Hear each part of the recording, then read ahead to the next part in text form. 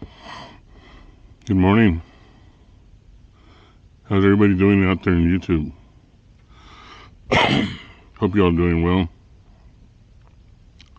Um, I need to find a way to adjust this thing to maybe put it around here somewhere.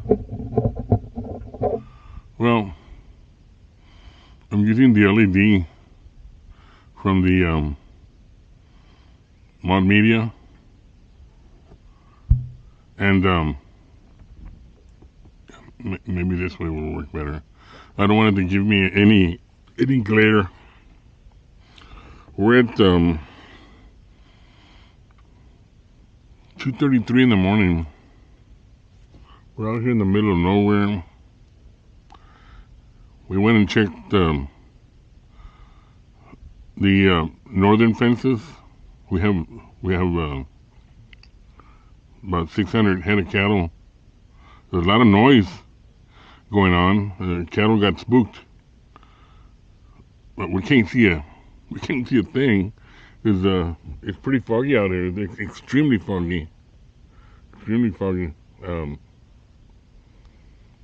we uh we took out our thermal visions, and from very far away we could just barely see an image that looked like a coyote trying to make its way to the bottom of the fence.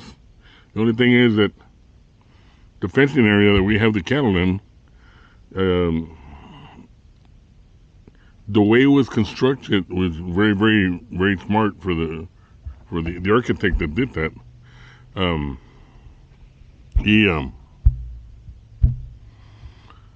very smart the way he did it because what he did is before the fence was made, it was a slab about three or four feet deep slab of cement is buried to the bottom of the of, of the uh, of the uh, ground area, and then they put the seven foot fence. Uh, it's like it, it's like a deer re- uh, reserve, but uh, it's mainly made for the cattle, mainly made for the wildlife that's out here. That it's out here trying to. Yeah. That's that's that's a coyote. Trying to get in. He he won't be able to get in, uh, but it, it is spooking the cattle. Um, so we got to go out here and with a spotlight. The only thing is, the only thing is that with the spotlight, it doesn't reach very far. Um, it's ex- extremely foggy. I mean, it, it, the only the only light there is is maybe the light that's that's coming from the from the moon up there. I'm not sure if you can see that. I pointed up there, but um, you can't see anything. It it's pretty much foggy everywhere. I mean, I can put the the light out like this, and I don't think you're gonna be able to pick up anything. This is not a very strong light. It is an LED light, but it's not that strong. So pretty able to cover me. Anyways, um, I wanted to come out on this particular camera.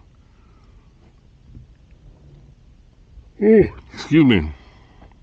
I wanted to come out on this particular camera because um, this is the uh, Insta 360 1X2. It's supposed to be kind of similar to the GoPro um, GoPro Max because it's got 360 degree uh, camera and it has the what's called the vlog mode. Um, it, it, takes pictures just like just just like the GoPro Max. It does it has almost all the features of a GoPro Max, except that even though the the GoPro Max is waterproof, this is more waterproof.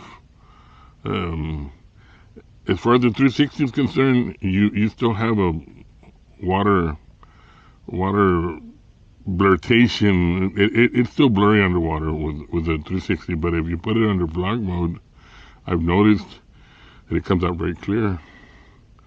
Um, for some reason or another, it, it looks better on this camera than it is on the GoPro Max. But um, That's one of the things that I'm starting to like about this camera, and I, and I had um, and I had purchased it because not only is it waterproof, it's got the same specifications as the uh, Insta One X, which is the which is the Insta One X One. Um, it's got the same specification. The only thing is that the One X One is not waterproof, um, and it did not have vlog mode either. Um, you could take three 360 pictures. you can take 360 pictures, but you cannot take ordinary pictures. This one has panoramic. This one has um, you can do 360 pictures. Uh, this one has HDR. It's a more. It, it brings more color into it. Uh, it has got. It, it, also has that um, some type of color um, color adjustment when you just take an ordinary picture. And this one you can take HDR video, which is nice.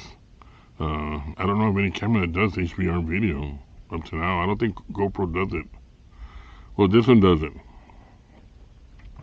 Um, of course, I'm still getting used to it, so um, it, has been almost a week.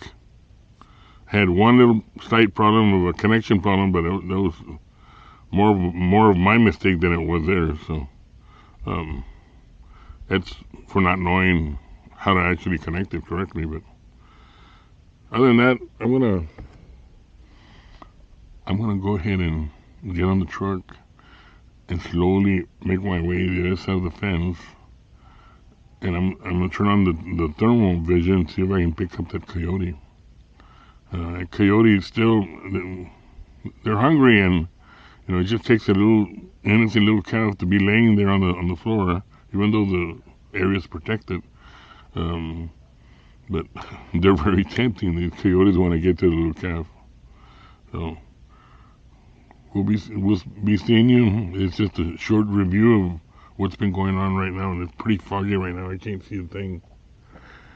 You're lucky if you're able to see the moon. So um, we'll catch you on tomorrow's blog. See what what else comes up.